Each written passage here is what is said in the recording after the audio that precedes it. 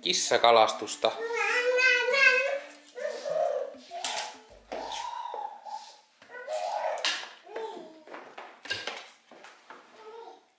Sain kalan.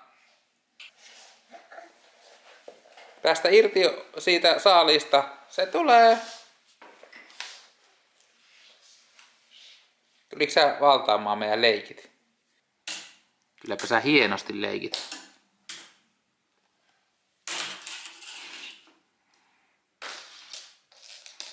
Tulee iso kissakala. Tää sujuu välillä tosi hyvin, mutta nyt se on ollut vähän heikkoa. Heippa! Hello! Ja tervetuloa mukaan heinäkuiseen lauantai-päiväämme. Tää oli vaikea kuvata. On ihan sika vaikea alkuspiikki. Mutta joo, tervetuloa meidän päivään. Me kuvataan tänään teille My Daytä. Ja hänen pitäisi mennä nukkumaan. Milli lähtee jahtaa liinusta. Eli mä lähden tästä tota, rataslenkille ja Milli jää viihdyttämään teitä. Tosiaan Atte lähti nukuttamaan liinusta aamun ekoille päikkäreille ja sit Atte ajatteli mennä tota, kokkolalaistietä roskarukalle. Mutta pyörällä siis semmoisen kukkulan luo, missä on ulkotreenipaikka ja siellä on semmoiset pitkät rappuset, niin tekee vähän rappustreeniä ja mä valvon sitten Linnuksen päikkäreitä. Ja ensin mä ajattelin, että olisinko mä lähtenyt kans mukaan, niin että oltais menty autolla sinne, ja sitten mä olisin voinut siinä ulkotreenipaikalla vähän treenata yläkroppaa tai jotain, koska mulla on toi mun Varvas. Mutta tota, sitten mä ajattelin, että ehkä hyödyllisempää, että mä jään kotiin ja koitan tässä vähän järjestellä ja siivoilla paikkoja. Atte on tässä just eilen vai toissapäivänä imuroinut, niin imuroida ei ehkä ainakaan hirveästi tarvii, mutta pessät pestä ja muuten mä näytän teille tätä kaaosta vähän taltuttaa ja pestä pyykkiä. Ja Paavo tarvii ruokaa. Onko nälkä? Hirveä nälkä Paavolla. Joo. Mutta tota mun varvas, mä itse asiassa sain ajan jo sen piikin poistoon, mikä mulla menee varpaaseen. Jos ei joku ole katsonut edellistä videoa, niin tosiaan mun varvas on mennyt pois paikaltaan ja sinne laitettiin semmonen metallinen piikki. Näyttää vähän niinku isolta isolta nuppineulalta, niin tota, se piikki, piikki poistetaan nyt alle viikon päästä, nyt on lauantai, niin ensi perjantaina. Ja sit mä toivon mukaan voin jo ihan aika normisti liikkua ja pyöräillä ja kaikkea, niin se on kyllä kivaa. Mutta nytkin menee jo paljon paremmin, en tarvii enää keppejä ja sit kotona mä en ole pitänyt tota kenkääkään, semmoista kovapohjakenkää jalassa ja oon kävellyt nyt muutamana päivänä Liinuksen kanssa lähipuistoon kiikkumaan. Se on siis ehkä ihan 300 metrin päässä tästä meiltä.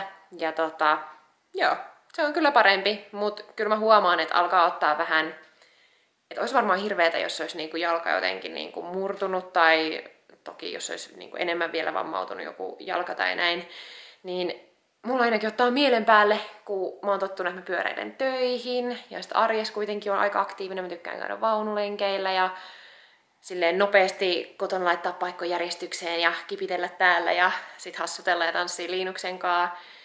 Niin kyllä toi vähän niinku ottaa mielen päälle, ettei pysty silleen normaalisti tekemään asioita tuon varpaan kanssa, kun mun pitää siis astua, se ei saa yhtään vääntyä, niin mun pitää astua silleen niin kuin suoraan sillä jotenkin, niin se on mulle vähän jotenkin semmoista kömpelyä tai että mä oon aika hidas liikkumaan. Niin, mutta onneksi tämmönen pieni juttu ja vaan kolme viikkoa toi on ollut, että ei silleen paha. Onneksi ei ole niinku mitenkään pahemmin loukannut, mutta voin kuvitella, että jos olisi vaikka murtunut joku jalka ja sulla on joku useamman kuukauden se pois pelistä, niin se on varmasti kyllä raskasta mielelle mielelle jotenkin etenkin, niin kuin, jos on yhtään tottunut semmoiseen arkiaktiivisuuteen ja muuten ole aktiivinen. Joo. Mutta mä alan tässä siivoilemaan. Mä ajattelin vessat pestä, eli laittaa aineet sinne ja laittaa pyykit pyörimään ja pedata sängyt ja muuta. Viime yönä nukuttiin ihan ok. Liinus nukkui omassa sängyssä neljään asti, sit mä imetin, sit hän ei mennyt enää nukahtaa uudestaan, joten otettiin sit viereen ja siinä hän nukkuu vähän ehkä levottomammin, mutta nukkuu kuitenkin. Eli ihan hyvät työunet. Me ollaan yleensä Ateenkaan viimeistään kymmeneltä niin kuin sängyssä ja valmiina nukkumaan, koska muuten me ei varmaan niin omasta mielestä saataisi tarpeeksi unta ja ei jaksaisi tarkea. Niin ihan hyvät tunnet. Herättiin vartti yli seitsemän sit aamuun. Niin onhan siinä jo aikuisellekin sitten yli yhdeksän tuntia. Toki sitten valvottiin yöllä vähän ja näin, mutta, mutta hyvin jaksaa tämmöisillä unilla. Nämä on oikein bueno. Ja mä en itse asiassa tiedä, onko Linus herännyt ennen sitä neljää, koska mä en kuulu sitä, mutta useampana yönä Atte on sitten niin nukuttanut Linuksen uudestaan, koska mä en ole herännyt siihen, kun Linus herää. Niin voi olla, että se on ehkä herättänyt Aten siinä aikaisemmin. yes, mutta aletaan siivoa. Oh no. Mä olin ihan varma, että meillä olisi täällä väkiviina-etikkaa ja olin kertomassa, koska mä en muista, onko mä kertonut aikaisemmin. Mutta siis meillä on tämmönen iso pullo. Tuo on mun mielestä jostain Klaas Ulssonilta, olisikohan. Niin täällä on siis väkiviina-etikkaa. Ihan perus. Ja sitä mä käytän pyykkietikkana. Se raikastaa ja ajaa saman asian kuin ihan normi pyykkietikka, mutta ne maksaa ihan sikana. Pienet pullot, niitä hajusteellisia pyykkietikoita, niin tää on ihan sika helppo tapa. Ensin, ennen mä tein jotain kaikkea niin kuin tyyliin kuivati appelsiinia tai uitin appelsiineja jossain etikassa ja että siitä tuli vähän hajua ja sitten vissiin jotain tiettyjä tuoksuja tai semmoisia tai onko ne eteerisiä juttuja tai jotain tämmöisiä voi laittaa tänne niin väkiviinaetikan sekaan, että sit siitä tulee semmoista hajusteellista, mutta mun mielestä ihan perusetikka, väkiviinaetikka ajaa asian. Mun suosikkikotityö heittämällä on pyykinpesu. Varsinkin jos siihen on niin kuin aikaa ja sä saat rauhassa pestä ja laittaa kuivumaan ja viikata. Nykyään tässä arjessa harvemmin on ihan hirveästi niin kuin semmoista rauhallista aikaa toteuttaa tätä. Mutta tälle just viikonloppuna niin ihana laittaa pyykkikone laulamaan.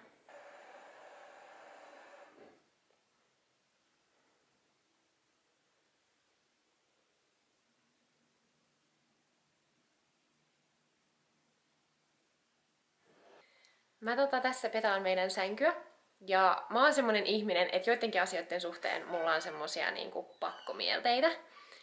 Että joidenkin asioiden pitää vaan olla tietyllä tavalla, vaikka se niinku vaikuta mihinkään mitenkään, vaikka ne ei ois. Mutta mua häiritsee, jos ne ei oo niin kuin niiden pitäisi mun mielestä olla. Ja yksi juttu, mä näytän mikä se on. Käännetään kamera. Täältä Siis meidän sängys tässä peitteessä on tää lappu. Ja tämän lapun pitää olla tässä niinku sängyn, täältä katsottuna sängyn, sängyn oikeassa täällä alakulmassa. Se ei voi olla missään muualla. Ei tuolla, ei tuolla, ei tuolla, vaan sen pitää olla täällä. Tää on niinku ihan typerä juttu, mutta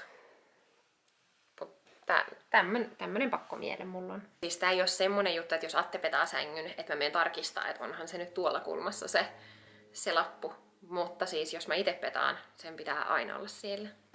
Pikainen unipäivitys tähän väliin, eli toi pinnasänky, se toimii ihan hyvin, mutta aika paljon turbulenssia, eli välillä nukutaan tosi hyviä öitä ja välillä taas paljon huonompia. Nyt viime yöt on ollut semmosia, että tosiaan neljä ja kello neljä hän on herännyt eikä meinaa nukahtaa enää, niin hän on tullut meidän kautta sänkyyn nukkumaan, mutta välillä parempia, välillä huonompia menestystarinoita. Me jatkamme, jatkamme taistelua, varsinkin nukutus on edelleen taistelu tuohon pinnasänkyyn. Miten teillä, kenellä on lapsia, niin miten te olette saaneet ne niin kuin nukahtaa pinnasänkyyn? Tai siis meillä on lähinnä se ongelma, että Liinus kääntyy ylee sikana vatsalleen. Sitten jos hänet antaa olla vatsallaan, hän alkaa tuolla niin kuin vaan pelleillä ja leikkimään. Eli sitten me ollaan aina käännetty hänet takas selälleen. Mutta sitten hän vaan kääntyy ja jossain vaiheessa hänellä vaan menee niinku yli se, että hän ei enää tykkää siitä, kun hän käännetään aina takaisin. Ja sitten sitä, hän ei saa siis rauhoittumaan millään tonne sänkyyn. Sitten jos otat syliin, hän rauhoittuu, mutta sä lasket takaisin, niin se jatkuu siitä, mihin se on jäänyt. Niin, eli miten teillä toimitaan, eli miten hänet, te saatte lapsen nukahtaa tonne pinnasänkyyn. Sillä niin kuin kaikki tämmöiset mitä tämä uniassosiaatiot, niin ne ei Joo. toimi, koska me ollaan taputettu pyllylle, niin mä en edes yllä taputtaa, kun hän on tuolla pohjalla melkein. Niin, ei se, eihän se, sä sanoit, että ei se ole auttanut tossa, kun meillä ei. oli pohja vielä vähän aikaa korkealla, niin ei. ei se niinku, me ollaan oikeasti kerrostettu niitä uniassosiaatioita monta kuukautta sitä varten, että sit kun hän joskus siirtyy tähän sänkyyn nukkumaan, niin niistä on hyötyä. Mutta niistä Mut joo. Ei mitään. Sitten hän ei niinku edes tykkää, kun hän tälleen niinku koskee tai taputtelee, se vaan niinku sätkii pois niitä sun Joo, hän potkii käsillä ja, potkii käsillä ja jaloilla pois, pois siitä sun käsiä, niin se on niinku turhaa, kun sä et voi tehdä muuta kuin niinku liikuttaa häntä pikkusen noissa, kun meillä on rattaat tuossa alla. Niin, pyörät. Et semmonen ongelma. Joo, niin kertokaa, jos teillä on jotain vinkkejä. Mm. Otetaan mielellään vastaan. Mä en ole päässyt hirveästi liikkuun viime viikkojen aikana, osittain sen takia, koska Mulla on ollut laparikki, eli sattunut, kun tehnyt ihan sama mitä, toi oikea lapa ollut mäsänä, Niin tota, nyt kun on lauantai, niin mä lähden tästä pyörällä tonne portaisiin ja teen pikatreenin, tai no pika ja pika, teen treenin siellä ja katson monta kertaa mä jaksan ylös alas. Ja sitten mä tuun takaisin tänne kotiin Millin ja Linuksen seuraksi. Mä näytän nyt teillekin, kun meillä on tuossa pahvilaatikollinen meidän kesävaatteita. Ja sit mä ajattelin, että tämä me oli kyllä kiva, että mahtuiskohan tää vielä mulle. Tää on siis mennyt ennen raskautta. Ja sitten mä täältä tälleen testasin. Ja sitten... Juu, ei, ei me, ei me. Ja siis edelleen täällä näyttää tältä. No vähän tosta on kadonnut, mutta samat jutut levällään edelleen. Eihän mä ennättänyt, ennättänyt siivota niin paljon kuin äiti ajatteli. Liinus nukkuu 45 minuuttia, niin vessa tehdin pestä ja pyykkikonetta laittaa laulaa ja sit mä aloin hinkata semmosella skrapalla tuolla vessassa noita tota, on jäänyt vähän kalkkia jonnekin, mitä ei ole saanut perussienillä tai muilla scrapdadeilla pois, niin semmoisella taltalla lähti hyvin. No, nyt jatkuu päivä. Kylläpä nää tästä samalla pystyy siivota, kun Liinus leikkii. Hmm. Keittiö check. Tuo Liinuksen haalari, niin mun mielestä se on siis tommonen päivähaalari, koska siinä on taskut ja semmoset napit. Mutta se näyttää ihan yöpuvulta, niin mua vähän häiritsee. Mä oon siis kirpparilta löytänyt ton. Mutta ehkä se menee ainakin tässä kotosalla. Ja sieltä tuli... Hei! Tuliko isi? Atte kävi kaupassa samalla. Ja mulla oli, kun mä tein pyykkihommia, niin Liinus tuossa istui ja katteli, kun meidän sotkunen kodari siellä. Laitoin pyykkiä pyörimään ja sitten ripusteltiin vähän ja piikkailtiin. Me tehdään tänään tortilla yllätys. Yllätys. Me ei olla oikeasti tehty pitkää aikaa. Ei Varmaan olla, ei kahteen viikkoon. viikkoon. Joo. Niin me tehdään nyt halloumia ostettiin ja tehdään halloumitortillaa. Astin kaupasta mozzarellaa, oli miinus 30 prosenttia, niin piti ottaa mukaan. Niin tota, Milli sitten äsken lueskeli netistä, niin mitä sä teet? Paneroituja mozzarella-viipaleita. Eli meidän tuleekin vähän nyt paremmat tortillat tälle päivälle. Testiin menee, en ole Joo. koskaan maistanut. Katsotaan miltä ne näyttää. Laitetaan tuolta toi jo päälle. Tuleeko niistä niinku mozzarella tikun kaltaisia? Vähän niinku joo, semmosia paneroitui. Kokeillaan ja kerrotaan teille sitten mielipiteemme. Joo, mä en oo ikinä tehnyt mitään paneroitua, joten jännityksellä katsotaan. Otetaan tuolta tommonen viipale. Ensin kauttaaltaan jauhoissa piti. Kuka siellä pärisee? Kiitos. Sitten kananmunassa. Noin. Ja sitten korppujauhoissa.Önam. Näyttää jo nyt ihan sika hyvältä. Tommonen. Noin. Yksi, kaksi, kolme, pum. Sitten syödään. Ensipuraisulta toi paneroitu, niin miltä se maistuu? Siis mulla ei ollut siinä suolaa tai mitään, niin ei se maistunut oikein miltään. Mut Atte sanoi, että maistuu kalapuikoilta. Niin, että tavallaan onnistunut, tavallaan en tiedä. niin ei ehkä ihan mozzarellalta maistu, mut no. No niin, täällä ollaan edelleen tämmönen sotkunuttura päässä ja tota, Atte pesee tuossa pihalla terassia. Mä imetin liinuksen, vaihoin vaipan ja mä ehdotin, että jos me lähdetään ostaa kesäkukkia. Muutama. Nyt on, mä tiedän, on heinäkuu. Meillä on muutama kesäkukka jo tuossa etupihalla, mutta mä haluaisin tuohon takapihalle pari, niin mennään hakemaan. Ne on nyt sopivasti jo alennuksessa, niin, niin, niin voi ostaa. Ja Atte pesee sillä välin. Tässä pesit tosiaan terasseja. Ne oli siis ihan siitepölys. Me ollaan ne jo kerran pesty tälle kesälle, mutta pesin nyt uudestaan. Ja sitten varmaan Liinus menee nukkumaan, kun tullaan ostamasta kukkia. Ai että. Kahvihetki. Mitäs me ollaan nyt tehty? Mä kerroin, että me lähdettiin hakemaan kukkia viimeksi ja sä pesit terassia. Sitten sä istutit kukkia ja mä nukutin Liinuksen ja Pestiin, pestiin pikkuterassi. terassi. Kyllä. Joo. Ja syötiin välipalaa ja kahvia ja Atte nukutti Liinuksia uudestaankin. Joo. Nyt mä ajateltiin juoda näitä kahveja ja katsoa Love Islandia. Kerran näköinen tosta teistä. Joo. Mä kuvasin, että täällä oli vähän tämmöistä sotkoja. Siellä on jo pyykit kuivumassa. Mut keittiön mä sain siivottua. Se oli win. Seuraavana suunta mun kaverin mökille. Me vuosittain käydään siellä oikeastaan. Mun kaveri asuu tuolla Tukholmassa, niin ei nähdä niin paljon, mutta tämä kesäperinne on aina tässä joskus heinäkuussa, että me käydään tuolla mökillä. Sinne tulee kaikki. Nyt on vähän muuttunut tosiaan, koska viime vuosina on tullut enemmän lapsia sinne. Kaikki on saamaan lapsia. Niin, tota, tota, niin, me ollaan nyt menossa sinne. Ja mä kysyin Milliltä, että onko mun hiukset hyvin. Mun mielestä ne ei oikein mennyt mitenkään, niin sitten Milli, että ne on ihan hyvät. Ja sitten mä totesin siihen, että ai ihan hyvät vaan, että miksei hyvät, koska Milli tekee aina noin, niin tota, oli kiva kostaa hänelle. Hän tuolla imettää, niin mä sen takia katselen häntä välillä.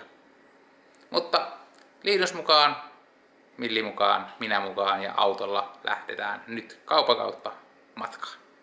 Yes, me päästiin kesäjuhlista kotiin. Liinus meinas nukahtaa autoon. Kello on kohta kahdeksan illalla, joten ei vielä saa nukahtaa. Ei, ja yleensä Liinus aloittaa seitsemän aikaa tai vähän seitsemän jälkeen syömään iltapuuroa. Kello on nyt kymmentä vaille kahdeksan ja puuro jäähtyy tässä. Että ollaan vähän aikataulusta jäljessä, mutta koitetaan nopea syödä puurot ja sitten nukkumaan. Ja me varmaan mennään kanssa sitten iltatoimille ja nukkumaan, kun Liinus nukahtaa. Kyllä ennen kymmentä varmastikin. Kyllä. Mutta kiitos kun olit meidän seurassa. Tuutko sä mukaan? Oi, oi. Elmo meinaa nousta. Mut Joo. kiitos kun olit meidän seurassa. Kiitoksia, jos katsoitte videon ja olitte meidän aika tämmöisessä peruslauantai-päivässä. Nähdään ensi kerralla. Ensi kertaan, moi moi! Moi moi!